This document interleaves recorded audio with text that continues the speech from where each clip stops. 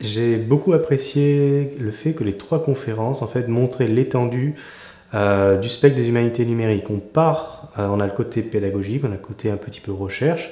C'est l'association de toutes ces compétences au niveau de l'étudiant, au niveau des chercheurs, au niveau des personnels administratifs euh, des universités et des unités de recherche, et surtout au niveau des fonctions de soutien et de gouvernance qui permettent de mettre en œuvre différents projets comme celui du MOOC euh, de la plateforme linguistique euh, des différentes universités parisiennes.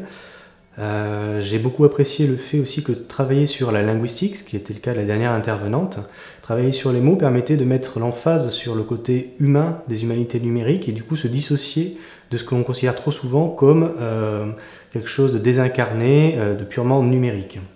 Trop souvent, le pratiquant en humanité numérique est considéré comme le geek de service, c'est-à-dire celui qui sait utiliser un logiciel, qui faire la promotion et l'apprentissage de ce logiciel vis-à-vis d'autres pratiquants. Euh, et du coup, il est réduit à des fonctions entre guillemets, ancillaires de servitude et d'application d'un outil. Or, les humanités numériques, c'est aussi réfléchir sur la manière dont l'ordinateur personnel plus le web modifient des pratiques et font émerger de nouveaux objets. Euh, on pourrait imaginer, par exemple, puisque je suis historien, euh, travailler sur l'écriture en ligne du passé. Ça, c'est un objet purement numérique qui nécessite à la fois une conceptualisation, et l'utilisation d'outils pour concevoir une base de données et les rendre visibles.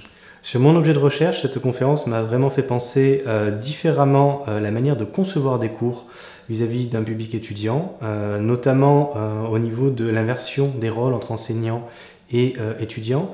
alors, ce n'était pas directement la conférence que j'ai modérée, mais ce matin, l'autre conférence faisait état d'une classe inversée.